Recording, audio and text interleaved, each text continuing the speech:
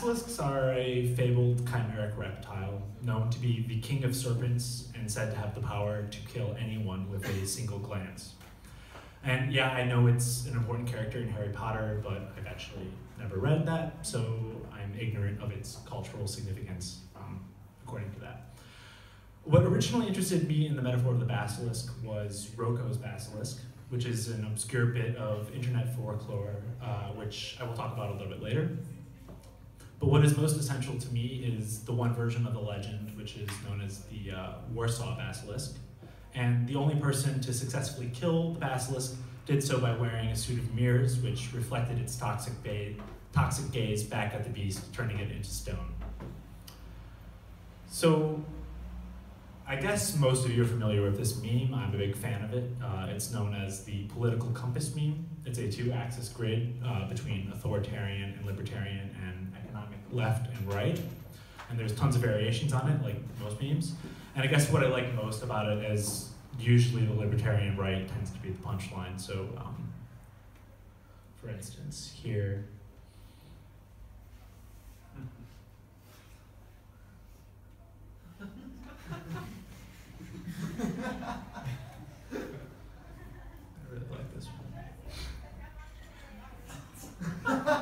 and I have to admit, I actually don't really understand what's going on in this one, but I just love this image of Alex Jones so much. So um, this leads me to the one that I made, which uh, I'd like to call the Four Attractors. Um, so basically, it's Roko's Basilisk, uh, Skynet, luxury communism, and Kek. I think that with Skynet, we all know this myth. Um, it's a super intelligent military created AI that decides that humanity is their biggest threat to survival and decides to exterminate us. I think this is probably the most widely believed fiction about AI and probably about the future in general, and I think it's a really destructive myth. Um, and then I think there's a huge difference between machine learning and strong AI killer machines, but I think that difference is lost on most people. So the next is um, luxury communism. Uh, so full automation, technologically achieved ecological harmony, no work, no labor, an explosion in creativity and leisure time, robots and humans working together in harmony. Um, it's actually been said that Marxism was the first technological religion and that it explicitly was based on a faith in the technological process of industrialization. So personally, I think it's pretty likely that Marx actually would be a automation luxury communist today. Uh, just gonna let that come in. so this brings me to my favorite basilisk. Um, so Roko's basilisk was a thought experiment first posted by a user named Roko on the site Less Wrong. And as far as topics go, discussing the plausibility and ethical hazards of super intelligent AIs is kind of par for the course here. So the thought experiment's premise is that an all-powerful super AI from the future could retroactively punish those who did not help bring about its existence, including those who merely heard about the possible development of such a being and did nothing to help create it. So it sort of resembles a futurist version of Pascal's wager, in that it suggests people should weigh possible punishment versus reward, and as a result, accept particular singularitarian ideas or financially support their development. It's a basilisk because by mere exposure to the idea, you become implicated and your soul may be digitally reincarnated and tortured forever now. So sorry for bringing it up. So uh, here's Less Wrong. Uh, Less Wrong is a community blog and a forum for the discussion of rationality, uh, decision theory, cognitive biases, artificial intelligence, transhumanism, and they have a total fetish for Bayesian statistics. Uh, probably needless to say, the users of this site are primarily white atheist betas. Uh, I think this is a pic of a recent, a recent Less Wrong meetup, which I guess is in France. Um, but I sort of presume that their self-image depicts themselves looking more like this, like some noble German idealist alpha gazing off into the techno-utopian sublime. So I guess I'm sure most of you already are familiar with Pascal's wager, but I made this ridiculous uh, infographic, which I'm really proud of. So I'm going to give you an overview anyway. So Pascal's wager was an argument devised by French philosopher Blaise Pascal, which posits that choosing faith is sort of the only rational choice. Pascal's wager was a radical development in probability theory and became the basis for the timeless decision theory, utilitarianism, which the less wrongers are obsessed with. So basically you're set up with this grid, um, which I am also attracted to. So you basically are left with these two options. Uh, God exists or it doesn't exist. You believe in God or you don't believe in God. So if there's no God and you believe in God, it doesn't matter. If you don't believe in God and there's no God, it doesn't matter. Whereas if you believe in God and God exists, you get eternal joy. You don't believe it, eternal misery. So basically, now that I told you about Roko, you are left with two choices with three possible outcomes. And it's important to remember that even in this brutal scenario, Roko is actually a friendly AI who only tortures non-believers out of a utilitarian logic that every day the basilisk doesn't exist is an abomination, and it uses threat of eternal suffering only as a motivator for its creation. So basically, yeah, you're left in box A as devote your life to helping create Roko, its basilisk, or B, you either have eternal torment as your soul is digitally reincarnated and tortured forever, or nothing. Um, so Eliezer Yudkowsky um, is a 37-year-old libertarian, atheist, techno-futurist American AI researcher. He's known for popularizing the idea of friendly artificial intelligence. He's the co-founder of the Machine Intelligence Research uh, Institute, and he's also the founder of the Less Wrong community. He's been quoted saying, if you don't sign up your kids for cryonics, then you're a lousy parent. Uh, safe to say, I think he fits the almost exact definition of a fedora. so Roko's Basilisk was creating quite a bit of distress amongst the less wrong user base, which I guess must seem strange uh, considering how far-fetched the idea must seem to pretty much everyone else. But due to the fact that the Basilisk was already giving people nightmares, um, Yudkowsky decided to delete the thread and ban the subject matter entirely from the site. He posted angrily in the thread, Listen to me very closely, you idiot. You do not think in sufficient detail about superintelligences considering whether or not to blackmail you. That is the only possible thing which gives them no motive to follow through on a blackmail. He's an intense guy. So this leads me to uh, the idea of um, memetic hazards. So spreading this meme like Roko's Basilisk could be tantamount to a crime against humanity itself because it dooms everyone who is aware of it. And I'm, I'm jumping ahead of myself here, but I think that the alt-right memes, which I'm about to discuss, tend to have the same basilisk-esque effect. So after all, mere exposure to conspiracy theories makes you more likely to believe them. Uh, Roko, to his credit, was quoted saying, I wish very strongly that my mind had never come across the tools to inflict such large amounts of potential self-harm. Um, some, on the other hand, think that Eliezer knew exactly what he was doing the entire time and deliberately raised all of this fuss, utilizing the Streisand effect specifically to promote Roko's idea and to encourage the development of friendly AI. And actually, this seems totally like something he would do, gauging from the interviews that I've read of his. So, this leads me to the Streisand effect. Um, by deleting and banning the basilisk, it did nothing but to elevate the awareness of the thought experiment to new heights.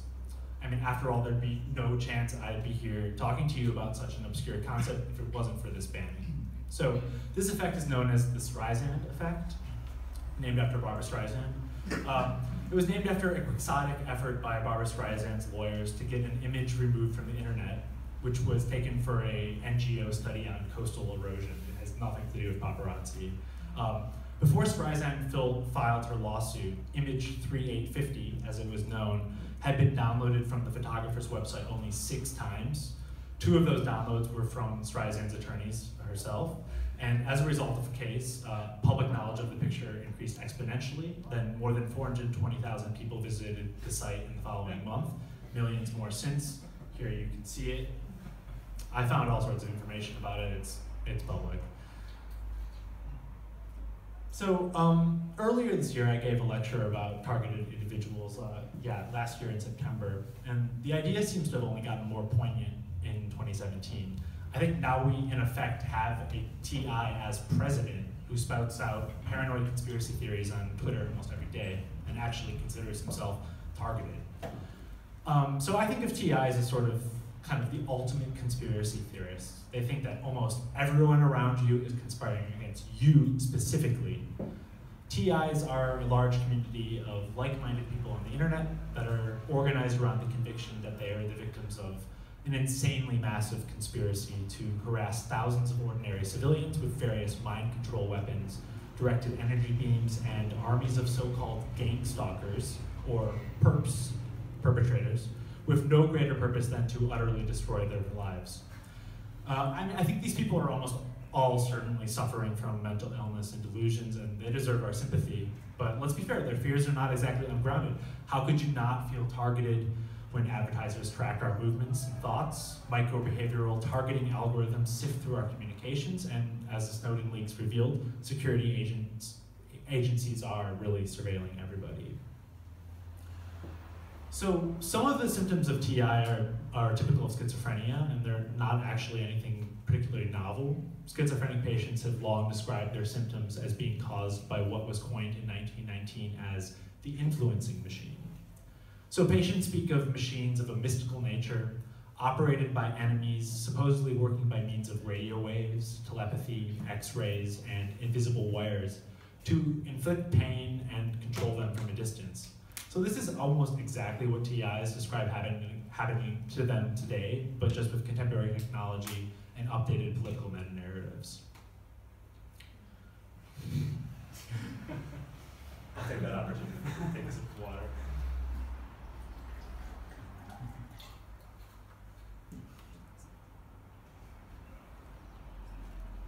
Sorry. So um, Cambridge Analytica claims to have built a real-life influencing machine. The company is a UK-based data mining and analysis and global election management agency, which was founded by the billionaire Robert Mercer in 2013. CA provides what's called psychographic analysis and behavioral micro-targeting for various conservative initiatives and politicians, including the pro-Brexit campaign, Ted Cruz, and the Donald Trump campaign. Uh, and also until recently, Steve Bannon, is uh, Donald Trump's chief strategist, served on the board of directors. They claim to play a decisive role in the implausibly successful political campaigns that I listed, but I suspect assigning those unlikely outcomes to CA's psychographic voodoo is just some confirmation bias fueled marketing nonsense. But I think the fact that anyone is trying to build these capabilities at all to literally make everyone in the world a targeted individual is alarming, to say the least. That being said, I think the bulk of the 2016 Russian, UKIP, Trump, Bannon, whatever disinformation campaign probably played out a lot more like this than the sophisticated geodemographic diagrams of Iowan congressional districts that you saw in the previous slide. So that leads me to the last basilisk, um, and I think maybe the most urgently threatening basilisk we face today, Kek. So Kek, aka Pepe, yeah. The cult of Kek emerged this year as a sort of semi-sarcastic religion formed by crowdsourcing information and exploiting the radicalization and confirmation biases which the internet mediates so efficiently. It all started with Pepe, who I'm sure most of you are already familiar with, but I'll give you a brief history. Uh, he started as a comic book character by Matt Furie, who was an Oakland-based illustrator in 2006. Uh, he was part of a comic book which was about a group of four anthropomorphic NEET, which stands for Not an Employment, Education, or Training, animal roommates. Uh, Pepe has probably taken on more incarnations than any other meme that I can think of. Um, so first it was Feels Good Man, then it was That Feel With No Girlfriend, Incel Beta Male, then it became Angry Pepe, uh, symbol of the Beta Uprising, uh, embodied by Elliot Rodger, the Californian kissless virgin, spree shooter in Isla Vista, who became known as the Supreme Gentleman on these forums. Then he became Smug Pepe, which I think of basically an avatar of sort of self-loathing Schadenfreude. Soon after, Pepe blew up and became a so-called normie meme used by people on Instagram and Twitter with a wide variety of content under the hashtag uh, RarePepe. So going mainstream made Pepe become pretty uncool amongst its original fans. Um, but sometime between 2015 and 2016, he became the de facto mascot of the uh, politically incorrect board known as POL, which had overwhelmingly favored Trump over Hillary as the savior of the beta uprising. So this association eventually made Pepe toxic to the normies, and his context was reclaimed by the so-called old fags of 4chan. The word kek uh, means LOL in a dialect of World of Warcraft for some arcane reason that I'm not going to get into. Uh, but it's long been used to describe funny memes, so you say top kek instead of LOL. So some anonymous user in 4chan discovered that Kek was also the name of the frog-headed Egyptian god of chaos and darkness. So people connected uh, Pepe to Kek, Kek to Trump, and thus the cult of Kek was born. Uh, to me, Kek is the sort of chaotic, nihilistic force, which is in opposition to Roko, which I think is ultimately a force for good, even if it's a brutal one. I think, uh, in this case, Ted Kaczynski is the hero, not an AI superintelligence. Um, it gets more insane though. Um, some of the uh, enthusiasts, with I guess a bit of too much time on their hands, presumably, began formulating a theory of esoteric Kekism, which was mostly based off of the work of, I'm probably going to mispronounce this, but um, Savitri Devi Mukherjee, whose 1958 The Lightning and the Sun became a foundational text of what would become known as esoteric Hitlerism. The book presents a disparate ideology combining Nazi symbolism, anti-humanism, vegetarianism, a Nietzschean rejection of Christianity, anti-Semitism, dharmic reincarnation, the biographies of Genghis Khan, Egyptian sun worshipper Akhenaten, and of course Hitler. The book prophesizes the emergence of the final incarnation of the Hindu god Vishnu, uh, named Kalki the Destroyer, who will succeed Hitler, who is apparently the second to last incarnation of Vishnu, and end the Kali Yuga, which is the Dark Age. So Kek versus or or Trump began being referred to as the Bodhisattva of racial enlightenment among these people, avatar of Kalki the Destroyer, and bringer of light, i.e., uh, global Aryan supremacy. And by the way, this image is actually from an official Trump ad where he's trying to appeal to Hindus. I didn't know it's real. So um, the cult of Kek is obsessed with, and I think formed by these easily discovered synchronicities and related cognitive biases which are so innate to the internet. They draw connections within a network that could be the product of some collective unconscious mind. So they find links between occult knowledge, politics, humor, and mass media. Uh, Kek cultists became entranced with the idea of numerological gets, so for background, every post on 4chan is identified by a random string of numbers, um, and repeating numbers in the post uh, became known as dubs.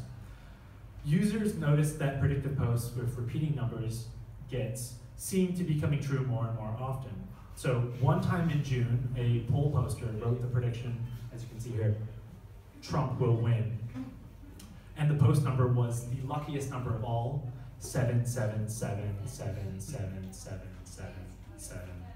So soon after Trump himself started tweeting Pepe memes, 4chaners went apeshit. Uh, their memes had really started to have a mainstream impact. And finally, Hillary herself addressed Pepe, and the ADL denounced him as a hate symbol. Um, and when Trump won, their hobble together religion seemed to become more real and real than ever. I don't think this may, is necessarily the first internet religion, but it definitely is one of the first ones. And I think it's formed from the sort of willful utilization of the cognitive biases which are so prevalent on the internet. It's not really about belief, but about the suspension of disbelief, or actually maybe it's just about the laws. So since Trump was elected, many of his supporters who congregated on the poll board of 4chan and are the Donald on Reddit have claimed to have memed Trump into the White House they believe, maybe somewhat facetiously, and this is the power that they have, They're, you never know when to take them seriously, that they caused this outcome through the use and repetition of pro-Trump, anti-Hillary memes. So meme magic, as they describe it, is a form of traditional Western chaos magic, which requires the use of magic sigils as a form of will to power. First, the magician must make a statement of intent around the desired operation by verbalizing, writing it, or illustrating the intent. The next step is projecting the intent into the multiverse, or in this case, the internet. Uh, the skillful means of skillful memes, repeated enough times, takes on the form of a mantra, which generates karma, uh, and leads to influencing public opinion and therefore reality itself. But in the height of the 2016 election campaign, the Anti-Defamation League, which I don't know if you all know it, but it's a uh, Jewish American civil liberties organization, um, and Hillary, both absurdly declared Pepe a hate symbol. Um, so soon after ADL's declaration, Hillary's campaign site devoted an entire page denouncing the cartoon frog and associating it with the Trump campaign's white supremacist fans. The net effect of all of this was that public awareness of Pepe reached all-time highs, and of course, poll rejoiced, and as we all know, Trump still won. Um, had somebody sitting on their bed weighing 400 pounds, which is the words of Trump, actually managed to meme Magic, Hillary, and the ADL into unintentionally promoting their ideology? It seemed that way.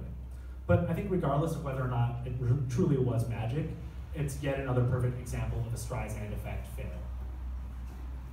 But quite possibly, most of this isn't meme magic at all, but rather the deliberate manipulations of social media, suggestion algorithms, algorithms, and SEO techniques by sophisticated operators. So one great illustration of this at work was the Sick Hillary campaign. It was a coordinated effort, but in a sort of grassroots way in contrast to whatever sophisticated techniques the Russians used. Uh, Sick Hillary was the brainchild of the alt-right Twitterer and MRA hero of beta males, Mike Cernovich, who is the author of Gorilla Mindset, and ironically lives off the alimony payments of his much more successful ex-wife, who is an employee of Facebook. So he uh, popularized this hashtag, um, and he used Periscope video chats to sort of organize strategy sessions with his fans, where he and his compatriots would simultaneously post whatever hashtag they had decided on within specific regions in an effort to gain the Twitter algorithm and get the message onto the coveted trending section. Sick Hillary was one of the most successful of these attempts, and it actually trended several times for a while. So when it was finally reported that Hillary had collapsed of pneumonia at a 9-11 memorial, memorial, the Kekis once again rejoiced, emboldened by the fact that this seemed to be yet another example of their memes becoming reality. Maybe it was magic, or maybe it was warfare. So, memetic warfare developed from diverse influences, specifically the idea of Richard Dawkins, chaos theory, semiotics, culture jamming, military psyops. And it was really only a matter of time before someone weaponized this innate tendency towards confirmation bias amongst low information internet users. So the savvy meme warrior is able to isolate, study, and, study, and subtly manipulate the underlying value systems they want to manipulate. Instead of engaging directly with politics as activism, it's focused on metapolitics, a political dialogue about politics itself, which Alain Badiou defined in 1998 as being opposed to political philosophy, which claims that since no such politics exists, it falls to philosophers to think the political. So I think their aim is to the expansion of the Overton window, which is sort of the maximums of acceptable discourse. This warfare is conducted using aesthetics, symbols, and doctrines as camouflage that ultimately influence our cultural meme pool and I think therefore re reality itself. So after memeing Trump into office, the emboldened Kekists have decided to wage a similar campaign to meme Marine Le Pen into office next. Personally, I don't think that's going to happen, but I also didn't think Brexit or Trump would happen, so you probably shouldn't listen to any of my prognostications about these things. Um, so one alt-right meme warrior, who I found on Reddit, published a helpful, if a bit vague, series of flowchart how-to guides on how to use memetic warfare to pursue their ideological goals. So the first thing is that you examine the ideas you wish to introduce to society. Two, you define the ideas needed to support the previously defined idea. Three, you ask the question, were there any supporting sub-ideas to define? If the question, if the answer is no, then you've completely defined the memetic structure you wish to propagate, and you move on to the next one. So this is the memetic indoctrination saturation chart. So number one, introduce undercover agents into the society you wish to infect with the goal ideas. Two, agents identify and indoctrinate community leaders that are already susceptible to infection with the mimetic structure of the goal ideas. Number three, agents use indoctrinated community leaders to spread the mimetic structure of the goal idea to their subordinates and followers. Four, agents leverage uh, indoctrinated community leaders and their subordinates to place pressure on non-conforming leaders and their subordinates to accept the mimetic structure of the goal ideas. Five, if possible, agents identify and eliminate leaders and subordinates that are resistant to their new mimetic structure. Six, you ask the question, is there now a majority of community leaders and subordinates with the same goal ideas? Yes, then mimetic indoctrination point has been reached. And you move on to the status monitor. So meme operation status monitor. One, identify a member of the target community not already indoctrinated with the goal ideas. Two, can he or she be indoctrinated via pressure from indoctrinated members and leaders in the society? Three, does he or she pose a threat to the spread of the goal ideas? Four, can you eliminate him or her without spreading the spread? Just, sorry, disrupting the spread of the goal ideas? Five, monitor, eliminate, or indoctrinate them. And I have to admit, I don't exactly know what monitor, eliminate, or indoctrinate means in this case, but use your imagination.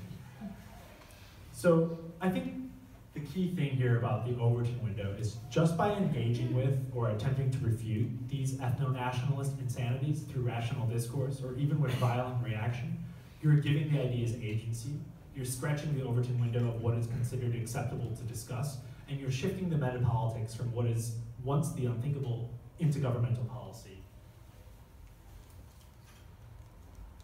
So conspiracy theories are like mimetic viruses.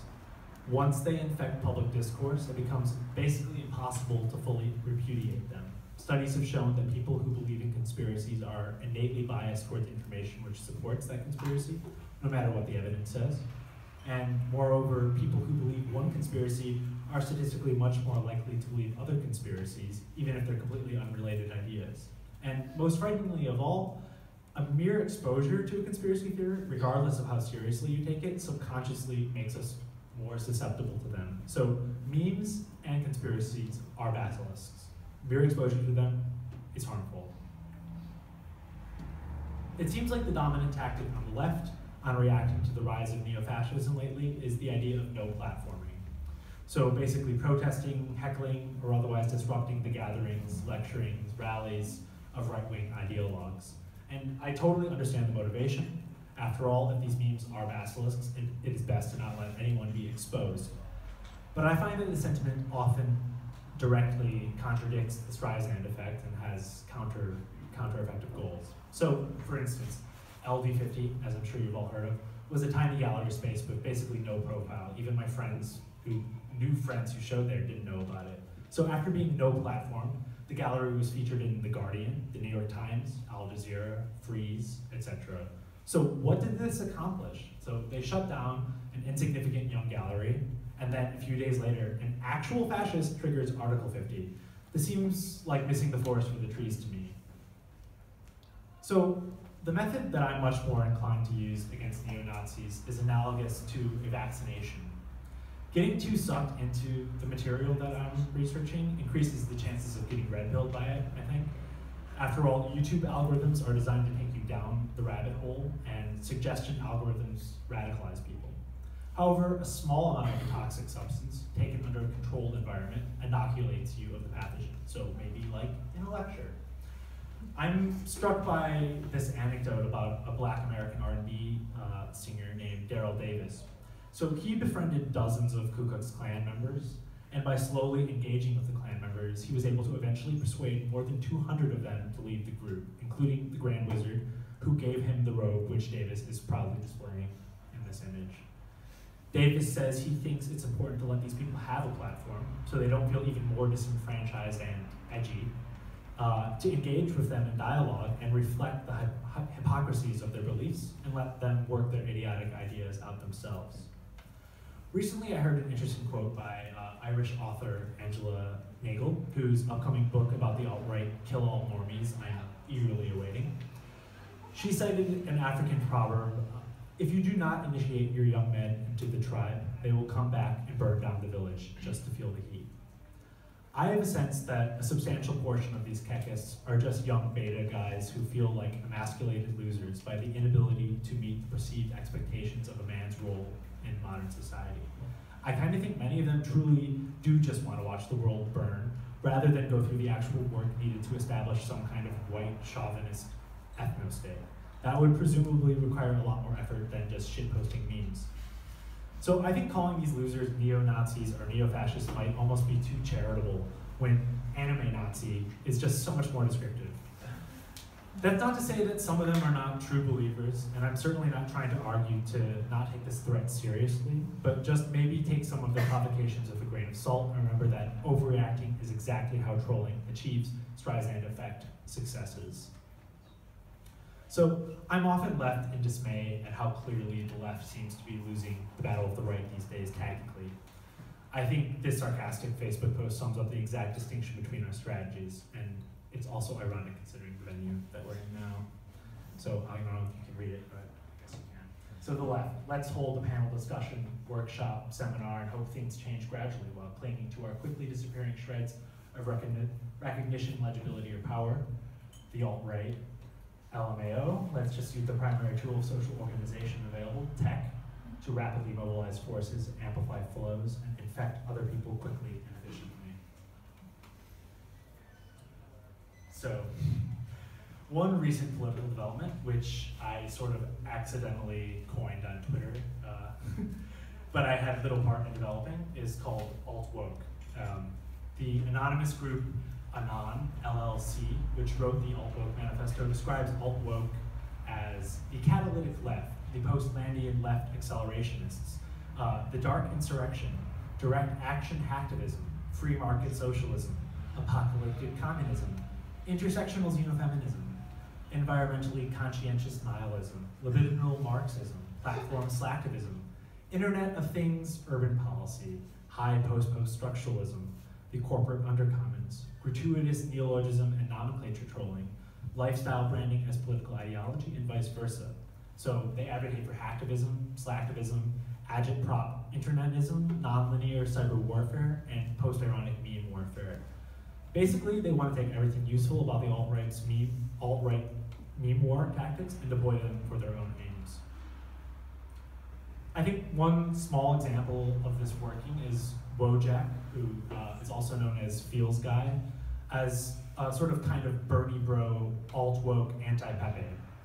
Uh, and I actually know this artist and researcher, Matt Garrison, who is recently, he just completed a dissertation about trolling, which suggests this idea as well. And I think, although I don't know the details about it, he's collaborating with the artist Ed Fernandez on a project attempting to do just this.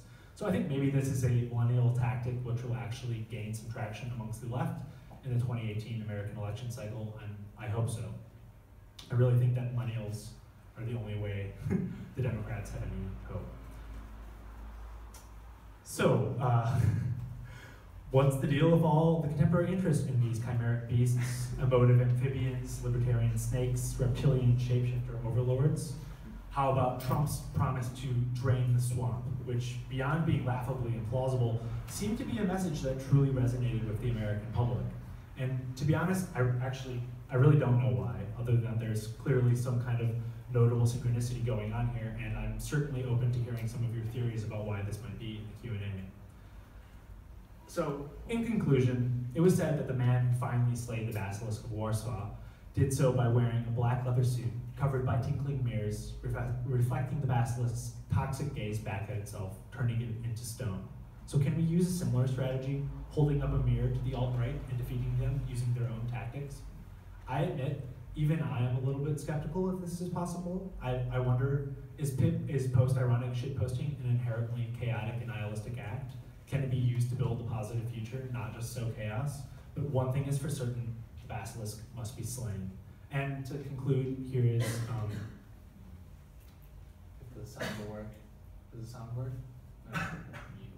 No, sound doesn't work. No okay. reason why.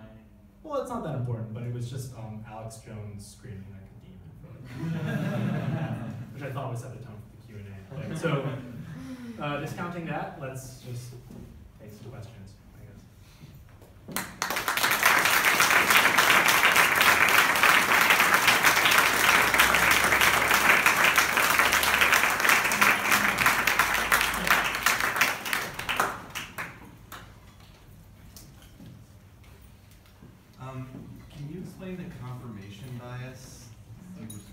Should we wait for the mic or does it matter? Uh, Maybe it doesn't really matter.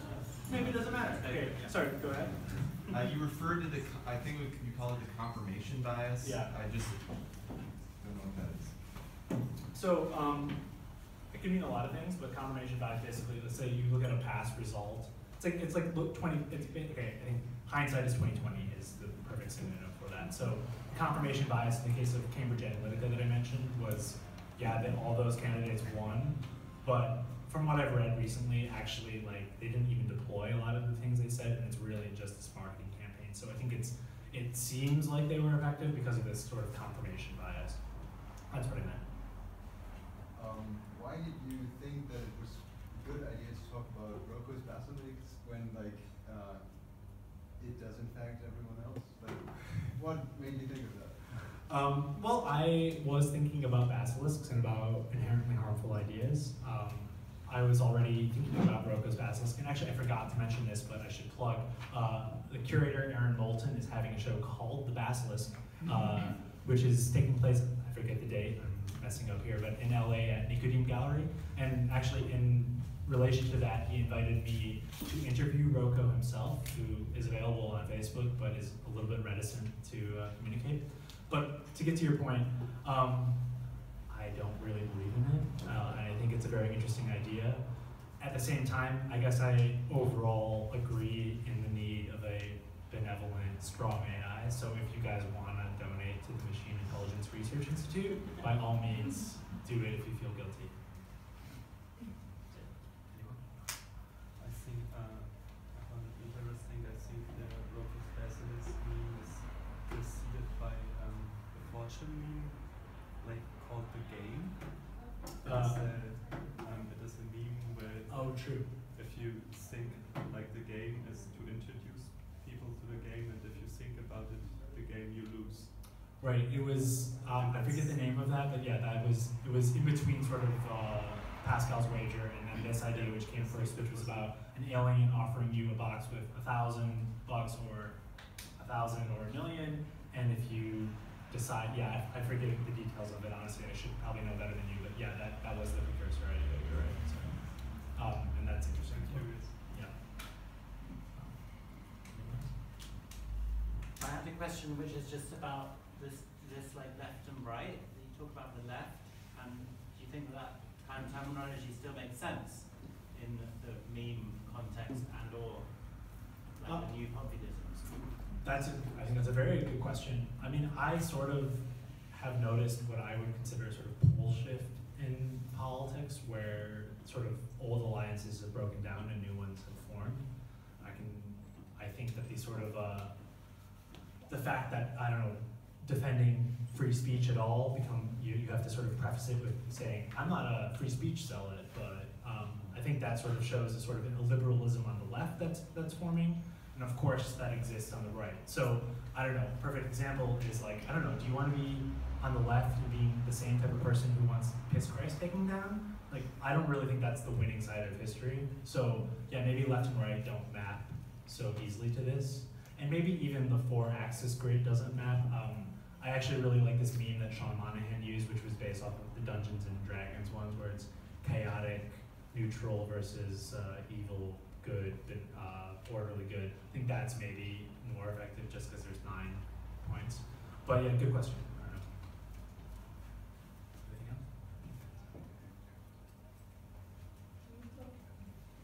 Go, you first, yeah. Maybe with your, because you have experience. Yeah, I, I, I avoided mentioning that so far. Um, So- have to, you don't want to. No, no, I don't mind. I'm not. I'm not. Uh, uh, and I have to admit, uh, I trolled a little bit. So I gave a different version of this talk uh, at the Stedelijk last week. Um, I added some content here just for you guys, so don't worry. But uh, I actually did start that talk by uh, formally denouncing LD50 and their any affiliation with it, and uh, also endorsed the shutdown LD50 movie movement. Just because no one asked me to do it in uh, in order to give the talk. So I think no platforming doesn't work very often, basically. So yes, uh, the Goldsmith students were uh, unfortunately denied the pleasure of hearing me speak. Great. Um, I don't know. And, and because of that, I got to write an article in Frieze. I'm giving this talk here now, which was offered because of that controversy. I think there's actually something that's called the Cobra effect, incidentally also about reptiles, which is sort of just the idea of unintended consequences, like the butterfly effect or something. I think that's very often what happens with the attempt of no platforming. Um, I think this Whitney biennial thing, perfect example. Do you have one maybe? I just wondered, how does all of this, in your, in your experience, how do you think it affects the art world, or being an artist? Um, I don't care about art very much these days. I'll have to admit. Um, I think I am an artist by basis of like what I've been doing for ten years and by the sort of social networks which I operate in. But um, even for the last ten years, art was always like sort of the least uh, interesting thing to me, and the only thing that was interesting was trying to bring in these sort of ideas from other bodies of knowledge into the art world. So I think there is obviously something to do with aesthetics and uh, the power of images here. And I, I would argue that memes, well, maybe memes and prestige TV are sort of the only uh, visual mediums that still have any agency anymore. I, I think the idea of I don't know, showing a painting in a white cube wall when Pepe memes are deciding elections, it just seems so solipsistic and tiny. It's hard for me to care about so I don't know exactly what artist's role if making art could could have to change politics. I think it'd be better to be more directly involved in politics, actually, which is not what I'm doing here, but um, it's what I dream of doing, maybe. I. Is that it? Any more questions?